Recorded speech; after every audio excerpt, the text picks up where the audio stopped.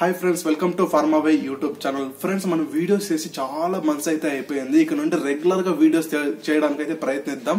So ఇవాళ topic వచ్చేసరికి GPAT exam అన్నమాట. జనవరి ట్వంటీ ఎయిట్ జీపాట్ ఎగ్జామ్ అయితే ఉంటుంది. సో ఈ జీపాట్ ఎగ్జామ్లో మనకు సిలబస్ అయితే చాలా ఉంది. సో ఆ సిలబస్లో మనం ప్రైమరీగా ఏ సబ్జెక్ట్స్ను మనము ప్రిపేర్ అయితే ఈజీగా జీపాట్ ఎగ్జామ్లో క్వాలిఫై అవ్వచ్చు అని చూద్దాం. అండ్ అదే విధంగా జీపాట్ ఎగ్జామ్లో మనకు మొత్తం ఎన్ని క్వశ్చన్స్ ఉంటాయి? అండ్ అదే విధంగా ఈచ్ క్వశ్చన్స్కి ఎన్ని మార్క్స్ ఉంటాయి? అండ్ అదే విధంగా నెగిటివ్ మార్క్స్ ఎన్ని ఉంటాయి? సో ఇలాంటి చాలా క్వశ్చన్స్కి ఈ వీడియోలో మనము ఆన్సర్ తెలుసుకోవడానికి అయితే ప్రయత్నిద్దాం. సో ఫ్రెండ్స్ ఏ మాత్రం ఆలస్యం చేయకుండా let's begin the video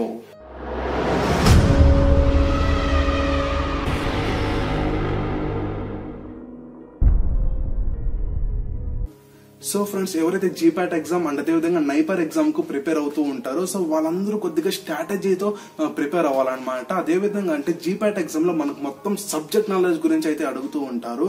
and అదేవిధంగా నైపర్ ఎగ్జామ్లో మనకు మొత్తం బేసిక్ నాలెడ్జ్ గురించి అయితే అడుగుతూ ఉంటారు.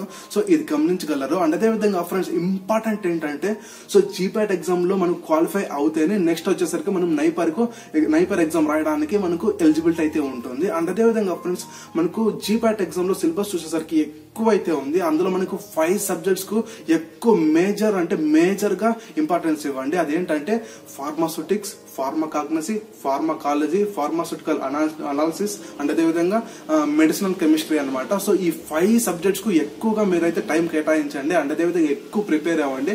సో మిగతా సబ్జెక్ట్స్ ఏమున్నాయో బయో బయోకెమిస్ట్రీ జూరిస్ప్రుడెన్స్ ఇలాంటి ఇలాంటి వాటికంటే కొద్దిగా తక్కువ ఇవ్వండి. సో మేజర్ వచ్చేసరికి మనకు ఈ ఫైవ్ సబ్జెక్ట్స్ అండ్ అదేవిధంగా మైనర్ వచ్చేసరికి ఇంకా మిగతా ఏ సబ్జెక్ట్స్ అయితే ఉంటాయో అవి. సో ఇంకొకసారి ఫైవ్ సబ్జెక్ట్స్ చెప్పుకుందాం.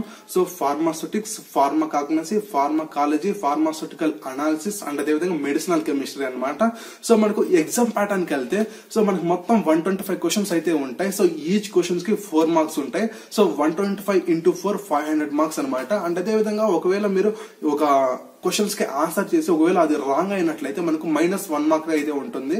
సో మీరు uh, ఒక స్ట్రాటజీతో అయితే వెళ్ళండి. ఫర్ ఎగ్జాంపుల్ ఎయిటీ క్వశ్చన్స్ పెట్టారు అనుకోండి అందులో మనకు ఫిఫ్టీ క్వశ్చన్స్ రైట్ అయితే చాలు. మనకి ఈజీగా వన్ సెవెంటీ మార్క్స్ అయితే వచ్చేస్తాయి. మనకు దాదాపుగా uh, మన కేటగిరీ వైజ్ వచ్చేసరికి వన్ టెన్ మార్క్స్ వస్తే ఈజీగా మనం అయితే uh, ఎలిజిబుల్ ఎలిజిబుల్ అయితే అయిపోవచ్చు. అండ్ అదే విధంగా ఫ్రెండ్స్ మనం ఎప్పుడైతే క్వశ్చన్స్ పెడుతూ ఉంటామో సో ఇక్కడ మనకు వాళ్ళు ఎక్కువ రీజనింగ్ ఇస్తూ ఉంటారు. అండ్ అదే విధంగా క్యాల్కులేషన్స్ క్వశ్చన్స్ అయితే అడుగుతూ ఉంటారు. సో ఇవన్నీ మీరు గమనించుకోగలరు అనమాట సో ఫ్రెండ్స్ ఎప్పుడైతే మీరు ప్రిపేర్ అవుతున్నారో సో మొత్తం కాన్సెప్ట్ అయితే చదవండి. అంటే అదే విధంగా ఫ్రెండ్స్ ఇక్కడ నా జూనియర్స్ అండ్ అండ్ అదే విధంగా మన ఛానల్లో కొంతమంది సబ్స్క్రైబర్స్ అయితే నాకు పర్సనల్గా అయితే మెసేజ్ చేస్తున్నారు. సో ఫేస్బుక్ పేజ్లో అదేంటంటే చాలా మంది వచ్చేసరికి జీపాట్ ఎగ్జామ్కు ప్రిపేర్ అవుతున్నప్పుడు ఒక ఫర్ ఎగ్జాంపుల్ ఫార్మాస్యూటికల్ అనాలిసిస్ అనుకోండి హోల్ డే ఆ సబ్జెక్ట్ ఆ సబ్జెక్ట్కి ఎక్కువ ఇంపార్టెన్స్ ఇస్తున్నారు. ఆ విధంగా అయితే చేయకండి. సో మార్నింగ్ వచ్చేసరికి ఒక సబ్జెక్ట్ పెట్టుకోండి. సో ఒక త్రీ త్రీ అవర్స్ సో ఒక్కొక్క సబ్జెక్ట్ అయితే ఇలా పెట్టుకోండి. ఒకే subject whole day I mean prepare అవడం అయితే చాలా అయితే బాగుండదు. సో మాక్సిమం ఒక డేలో ఫోర్ సబ్జెక్ట్స్ అలా కవర్ అయినట్లు చూసుకోండి. అండ్ అండ్ అదే విధంగా ఫ్రెండ్స్ ఎగ్జామ్ uh, మనకు జనవరి ట్వంటీ ఎయిట్ కదా. సో జనవరి ట్వంటీ ఎయిట్ కంటే మనకు జనవరి ఫిఫ్టీన్త్ వరకు మీరు ఎంత ప్రిపేర్ అవ్వాలో అంతవరకు ప్రిపేర్ అవ్వండి. ఆ తర్వాత నుండి జనవరి ఫిఫ్టీన్త్ నుండి జనవరి twenty eight eight thirteen days ఏవైతే ఉందో అక్కడంతా మనం రివిజ్ రివిజన్ అయితే చేసుకోండి. కొత్త కొత్త క్వశ్చన్స్ అయితే మీరు నేర్చుకోవాల్సిన పని అయితే లేదు. మీరు ఎప్పటిదాకా ఏదైతే ప్రిపేర్ అయి ఉన్నారో సో వాటి గురించి ఎక్కువ ఇంపార్టెన్స్ అయితే ఇవ్వండి.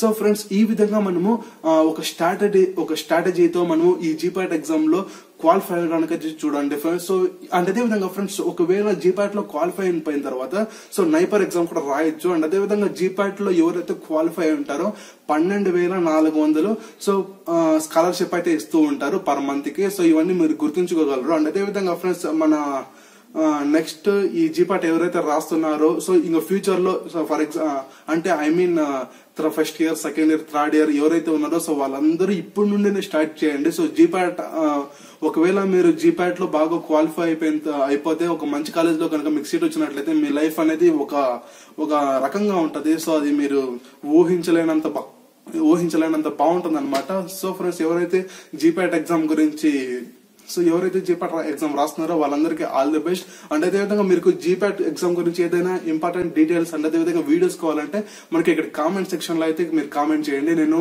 ఫ్యూచర్లో మీకు ఆన్సర్ చేయడానికి అండ్ అదేవిధంగా మీకు ఏదైనా టాపిక్స్ గురించి వీడియోస్ కావాలంటే నేను వీడియో చేయడానికి అయితే ట్రై చేస్తాను. సో ఫ్రెండ్స్ మన కీప్ లవింగ్ అండ్ అదేవిధంగా ఒక్కసారి లైక్ చేసుకోండి. అండ్ అదేవిధంగా మీ జీపాట్ ఎగ్జామ్ ఎవరైతే రాస్తున్నారో వాళ్ళందరికీ వీడియో అయితే షేర్ చేయండి ఫ్రెండ్స్ సో నెక్స్ట్ వీడియో అయితే కలుద్దాం. బాయ్